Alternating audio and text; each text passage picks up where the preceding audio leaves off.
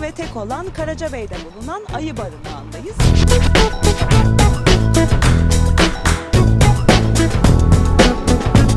Burada bulunan ayılar yavaş yavaş kış uykusu hazırlığına başladı bile.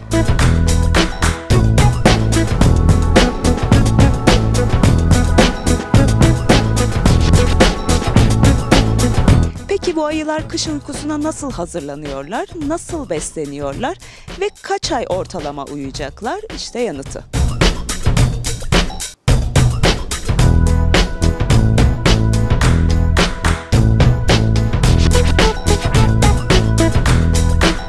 Burası Bursa'nın Karacabey ilçesinde bulunan Cellacar Yaban Hayvanı Kurtarma ve Rehabilitasyon Merkezi. Merkezimizde toplam 65 tane ayımız bulunmakta. Ee, şu an yavru bir ayımız yok ancak 2 ila 30 yaş arasında e, her yaştan ayı merkezimizde bulunuyor.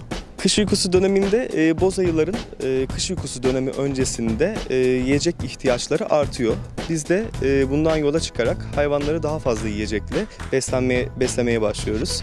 E, kalori ihtiyacı arttığından dolayı yüksek kalorili meyvelerle özellikle mevsim meyveleriyle e, ve karbonhidrat ve protein ihtiyaçlarını alabilecekleri çeşitli yiyeceklerle beslemekteyiz. Bu dönemi yüksek kalorili ve yüksek proteinli yemler vererek e, tamamlamaktayız. Kış uykusu döneminde hayvanların metabolizmaları yavaşlamaktadır. Bundan dolayı hayvanlar vücutlarında depo ettikleri e, yağlardan e, enerji ihtiyaçlarını ve su ihtiyaçlarını karşılarlar. Biz de buradan yola çıkarak hayvanları daha fazla yem ile besliyoruz. Uyku dönemi e, çeşitli iklimsel e, faktörlere göre değişmekle birlikte ortalama 3 ila 5 ay arasında değişmektedir. E, kışın soğuk geçtiği e, bazı bölgelerde daha erken başlamakta. Ancak e, bulunduğumuz konum itibariyle bizde Kasım sonu gibi e, kış uykusu dönemi başlamakta. Yaz sonu itibariyle biz hayvanları e, daha fazla beslemeye başlıyoruz kış dönemine kadar. Merkezimiz 1994 yılında e, Ayılara Özgürlük Projesi kapsamında e, kurulmuş olan bir merkez.